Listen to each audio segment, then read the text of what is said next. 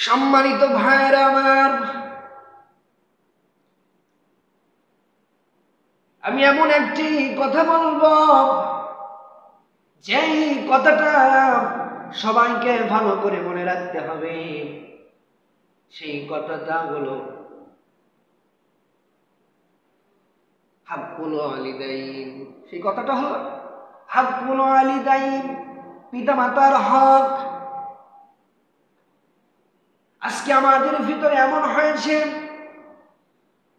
যে পিতা মাতাদের সাথে কি রকম ব্যবহার করতে হবে এই বিষয়টা আজকে যুবক ভাইদের ভিতরে নাই, সবাই জানি ভুলে গেছে।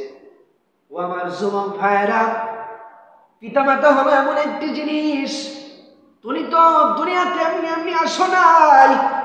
তুমি আসো পিতামাতার মাধ্যমে। আল্লাহ তারা তোমাকে এই দুনিয়ার জমিনে পাঠিয়েছে।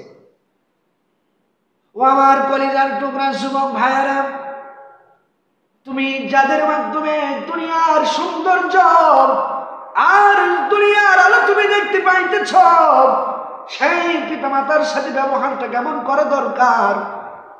আর কি রকম ব্যবহার হচ্ছে পিতামাতার সাথে? একটু নিজের বিবেকের সাথে চিন্তা করে দেখো।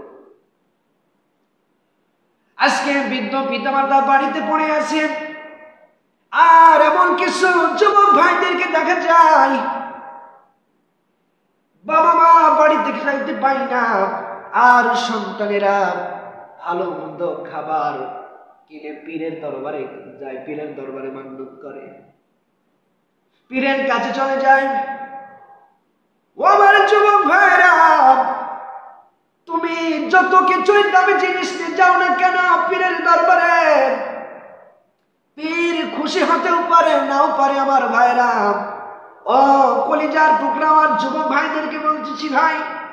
বিশ্বনবী বলেন যে আপেল কর্মা যে আপেল দামি দামি জিনিস তোমরা পীরের দরবারে নিয়ে যাও।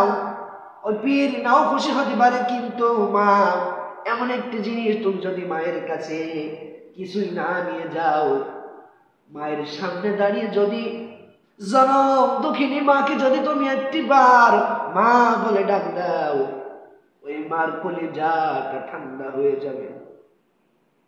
ও যুবক ভাইরা তোমরা কি করতেছ? আর সেই মার কোলে যাই তোমরা আঘাত দাও, আর সেই মার তোমরা কষ্ট দাও। আল্লাহর নবী বলেন, পিতামাতাই হলো তোমার জান্নাত এবং জাহান্নাম। তোমরা পিতামাতার খেদমত করে তোমরা জান্নাত কামাইতে পারো। আর পিতামাতাকে কষ্ট দিয়ে তোমরা জাহান্নামকে কামাইতে পারো। ও আমার কলিজার টুকরা যুবক ভাইরা ও আমার কলিজার টুকরা যুবক ভাইরা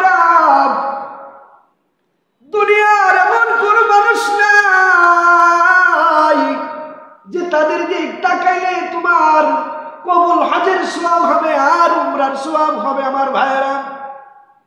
কিন্তু মা বাবা এমন একটা জিনিস, আল্লাহর নবী বলেন, কোন বান্দা যদি মায়ের দিকে একবার এক নজরে ওই বান্দার আমল নামায় কবুল হজের সব লেখা হয়। আমার ভাইরা শুনতে নয় দেখে দেন পৃথিবীতে এমন কোন মানুষ পাবেন না, এমন কোন দরদি মানুষ পাবেন না, আপন মানুষ পাবেন না, যাদের দিকে তাকাইলে রব্বি কারিম আমাদের প্রভু, তিনি কবুল হজের সোয়াব বা হজের সোয়াব তার আমল নামাই দেখে দেন যুবক ভাইদেরকে বলতেছি, যুবক ভাইরা আমার কলিজার টুকরা যুবক ভাইরা আমি তোমাদেরকে বলতেছি, এখনও পরিবর্তন হয়ে যাও বিশ্বনবী বলেন যে সমস্ত যুবক ভাইরা বৃদ্ধ পিতামাতাকে পেল, দুনিয়াতেই পেল, কিন্তু তাদের থেকে গুণা মাফ করাইতে পারল না, তাদের জন্য ধ্বংস। এই জন্য আমি বলতেছি, যুবক ভাইরা